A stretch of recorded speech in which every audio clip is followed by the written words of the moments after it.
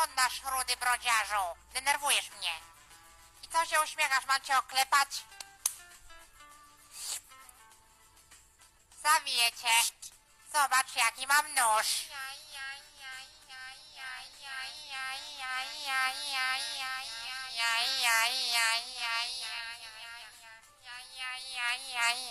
Dzień dobry, tutaj policja, ręce do góry. Zabieramy tego brodacza, ale będziesz miał siedzenia. Zapraszamy do więzienia.